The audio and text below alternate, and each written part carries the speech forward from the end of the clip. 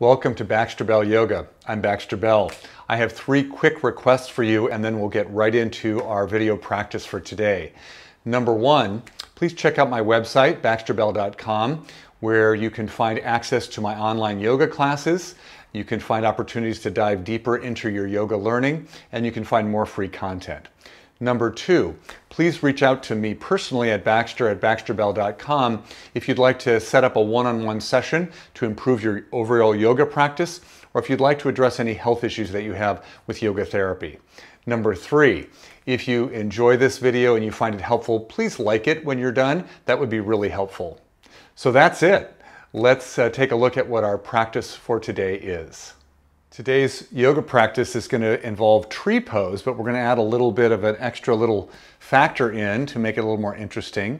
Um, this might be considered a cognitive distracting um, drill in that we're not just doing the basic pose, but we're adding something else that we have to pay attention to.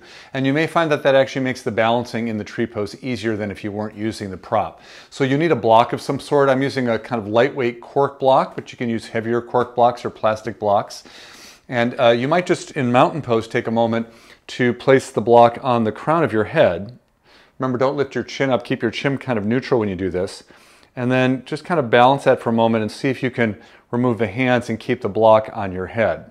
So we're just getting used to what that feels like to have the block on the head in an easy position with both feet on the ground before we try doing our tree pose. So let's go ahead and bring our weight onto the right leg. Remember you have choices for where you put your left foot. It can be uh, heel on the above the ankle bone with your toes on the floor. You could bring the foot up onto the calf. You could have the heel just above the knee. Or those of you that are more um, open in the hips could have the heel up a little bit higher. So once you've got that set, let's go ahead and take the block and place it on the crown of the head and see if we can find that spot. If you lose it, try to bring your foot down first before you go running after the block and then move your hands a little bit away from uh, the block to see how your balance is doing. You could take your arms up and out to the sides. And although you're going to lose my hands in the screen for a moment, you could also take the arms straight up towards the ceiling.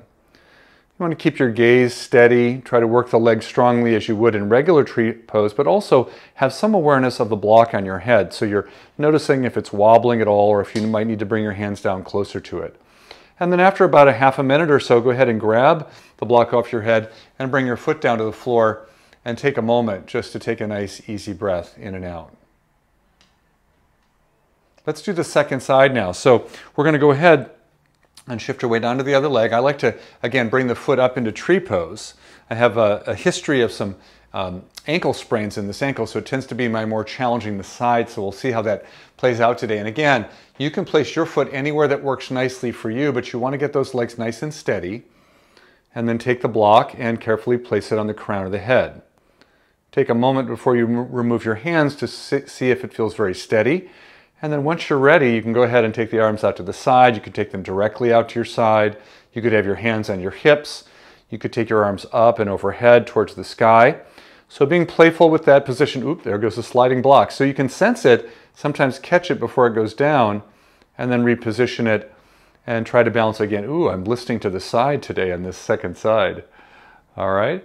Let's try one more breath here. Ah, that's a little steadier spot. Good, now let's reach down, grab the block, remove it from the head, and bring your foot down. Shake out anything that needs shaking out. So as you can see on my second side, um, sometimes things are a little bit different from side to side, and I think perhaps because there was a little bit more unsteadiness on my other ankle, that allowed for that block to be a little less stable in the head. Requires a little more concentration and focus, so give that a try. Tree pose with a block on the head. Try that in your home practice this week. See what you think. Don't forget to follow me on Facebook and YouTube at Baxter Bell Yoga. Come join me for a live streaming yoga class sometime real soon. And thank you so much for joining me today. Namaste.